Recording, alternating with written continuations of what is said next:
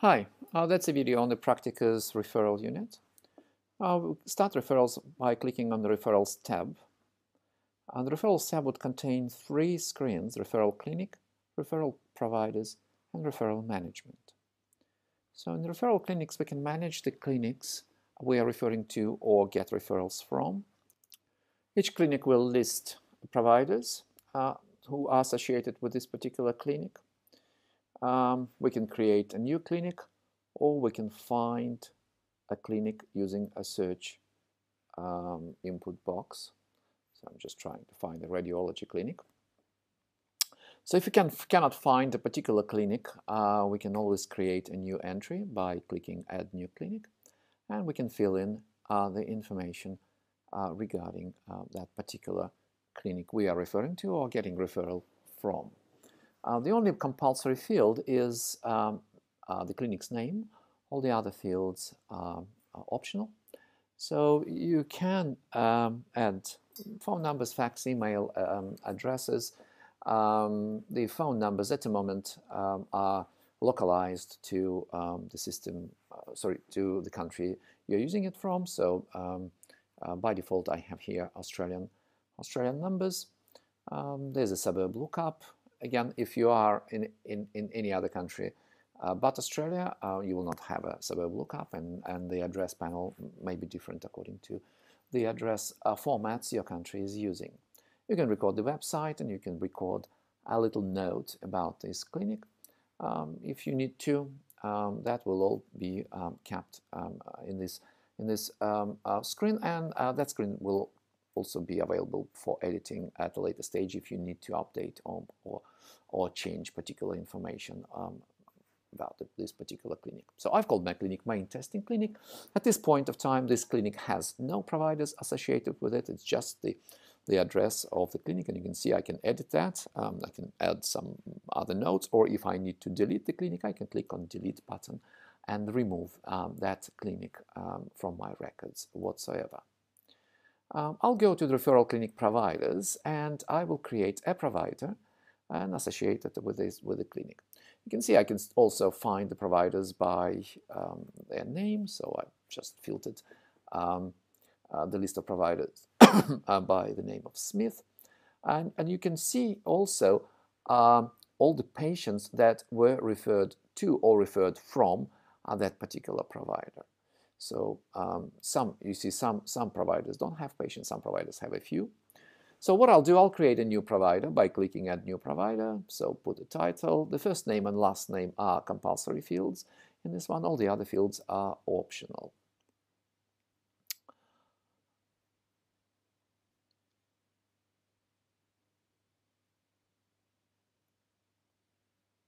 so I'll call my doctor Dr. Werner.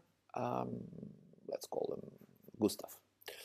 So Werner Gustav, occupation uh, is an optional thing. I can call the therapist.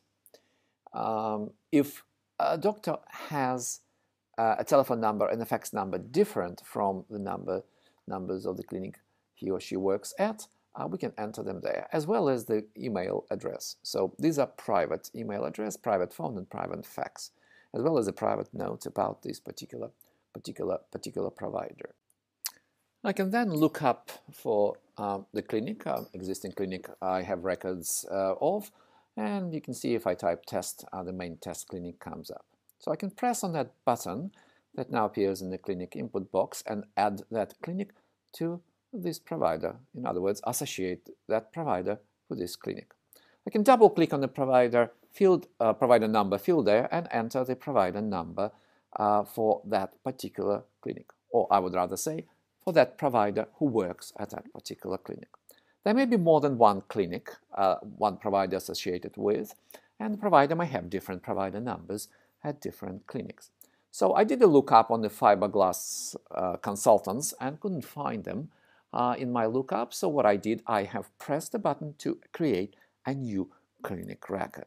So I could have done it from the management panel, but I did it right here from um, you know the provider provider um, uh, input input screen. Um, in fact, you can do it vice versa. In the provider, you can create a clinic. In the clinic, you can create a provider. And you can also do it while registering a referral um, in, uh, in the referral management screen of the patient file. So I'm just entering some information about the fiberglass glass consultants company and I will place them in, in Caulfield, um, Victoria um, and uh, will not write any notes or any website. I'll just save that info and you will see that fiberglass consultants are immediately uh, added to the uh, provider's record. I will update the provider number for this clinic and now I have provider associated with two clinics, main testing clinic and the fiberglass consultants, each clinic having a different provider number for this particular person. If I need to remove a clinic from a provider record, I can select a clinic and click on that minus button right above the, the clinics, clinics table. So that would just remove uh, the association of this provider with that particular clinic. So I can update any other information I need to and uh, save it. Now, this provider has no patients uh, referred to or referred by him. So what we can do, uh, we can go to um, a patient record or, or let's say let's go to an appointment book and create a referral or register, I would rather say a referral, with this particular prov provider for patient Strauss-Rowan. So I'll go to the patient navigator and click on the referrals button. So he has no referrals at the moment, so I will just add a new referral. When I add a new referral, I can select the type of the referral, incoming or outgoing referral, so in or out referral. You will notice that the provider to and provider from will actually swap uh, depending on the type you choose. I can enter a reference number, optional. I can select the date of the referral, also optional. Select an optional method, so method of delivery. Let's say it was received by mail. Do a lookup on the provider in my database. So let's say it'll be Dr. Werner Gustav from main testing clinic, because I have an as Dr. Gustav for fiberglass and main testing. I can select the provider I'm referring to, so uh, the referral is actually addressed to, so that would be Dr. Martha Fragens. I can select a reason. Uh, again, this is optional, a reason for the referral, and I can select the status. Statuses are fully customizable. You can create your own statuses in the uh, management panel of the statuses. I can upload the files to my referral. I can scan them using a scanner or I can create a new document for my um, uh, referral.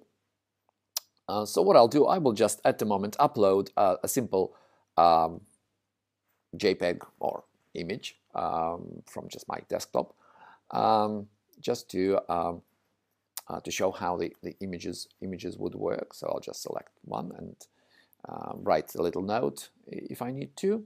I can select multiple images as well and upload multiple images. And this image now is associated with this particular referral. It is also visible in the patient communication file, but uh, it'll be filtered out or singled out here uh, in this particular referral. I can also create a new communication documents, and as I said, I can do uh, a scan. You can select a category for your referral. Um, useful thing because you can filter them by the by the category. They're fully customizable. I've just selected orthodontic. You can create your own categories yourself.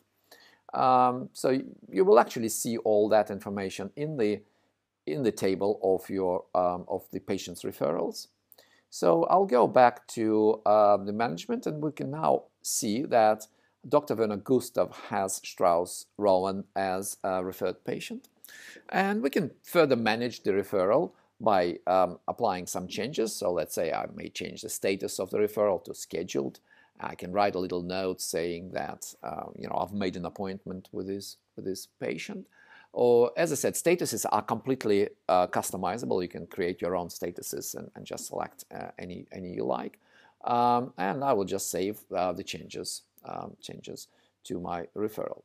Uh, you can see every time I make a change uh, to a status, it records a log.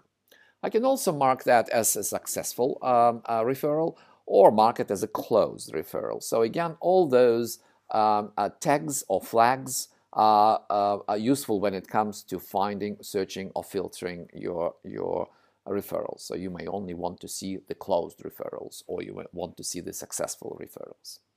So if in the referral management, if we look at the referrals for the past month, we should see uh, the referrals, the referral with uh, the last one, in fact, is Strauss-Rowan. Uh, referral, all the other referrals are referrals with other patients. I can find the referral by the referral number, so or by or by a reason. So I can type there, let's say one, two, three, and it'll find me uh, the the last referral with uh, with with Rowan Strauss.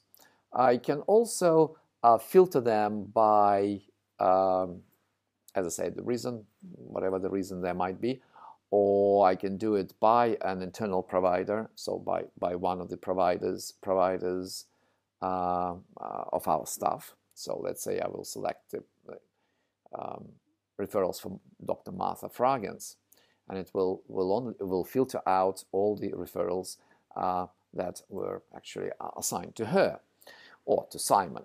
I can select them all and show them for all. I can select an external provider and filter out, and you can see there's only one uh, referral for uh, Werner Gustav. I can select again all the providers. I can filter it by the state in progress, closed, or show both. I can filter them by success or not success. Uh, I can filter them by the type, incoming, outgoing.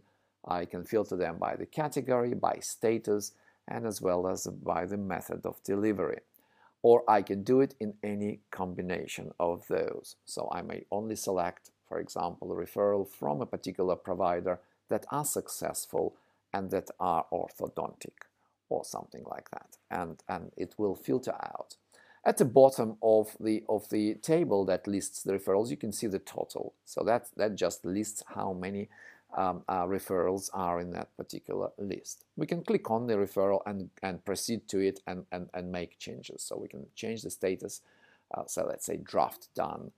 And um, we can just say, right, that, you know, written a draft of my report or something like that. And you can create um, uh, a report draft from the communication by clicking new document go either select uh, an existing template that you have may have already prepared or create a new template. So I'll just put the practice uh, practice logger and just type some text. This is you know my draft, for example, and I can save um, that draft uh, for my uh, for my further use because I may come and edit that draft later and then change the status of my referral to a new status uh, saying the draft is completed or something like that. So um, you see there's now a new blank document there um, that is available to me from the referrals. And I can edit that document, uh, make changes, and change the status of, of, of, of this referral um, and uh, you know proceed with it. Okay, let's go and um, get this referral back again and uh, update, uh, let's say, a report uh, in the in the referral. So I'll just uh, double click on the document and uh, modify the text um, I need to, to, to edit and then I can uh, save the latest edition. I can change the status of my referral um, to indicate that I have completed completed um, uh, the report and um, close it.